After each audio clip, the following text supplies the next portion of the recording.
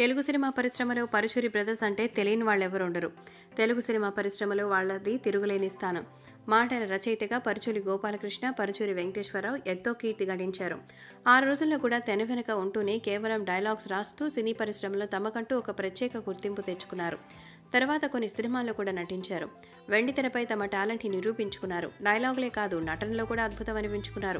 కళామ తల్లి ముద్దుపిట్టెలుగా ఈ అన్నదమ్ములు టాలీవుడ్లో గొప్ప స్థానాన్ని ఆక్రమించారు. ఇద్దరు సోదరులు పరుచూరి గోపాలకృష్ణ అయితే యూట్యూబ్ ఛానల్ ద్వారా పరుచూరి పలుకులంటూ ప్రతి వారం ప్రేక్షకుల ముందుకొస్తున్నారు కానీ ఆయన అన్నయ్య అయిన పరుచూరి వెంకటేశ్వరరావు మాత్రం ఈ మధ్యకాలంలో ఎక్కడా కనిపించడం లేదు.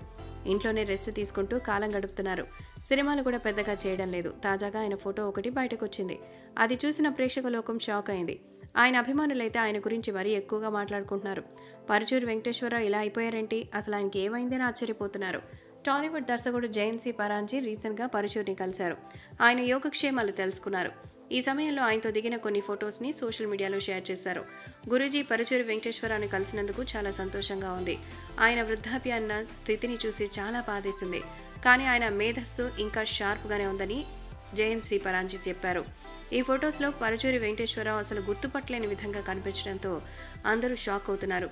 ఎంతో యాక్టివ్గా కనిపించే ఆయన బక్కగా అయిపోయారు. వృద్ధాప్యం మీద పడినట్టుగా కనిపిస్తోంది. ప్రస్తుతం ఆయన ఏజ్ డెబ్బై ఎనిమిది సంవత్సరాలు. ఆరోగ్యం సరిగా లేకపోవడంతో ఆయన ఇంటి దగ్గరే ఉండి విశ్రాంతి తీసుకుంటున్నారు. మూడు తరాల హీరోలతో పనిచేసిన అనుభవం పరుచూరి బ్రదర్స్ సొంతం. కొన్ని వందల సూపర్ హిట్ సినిమాలకు మాటలు రాసిన ఈ సోదరులు ఇటీవల సైరా చిత్రంతో మరోసారి తమ మార్క్నైతే చూపించారని చెప్పాలి.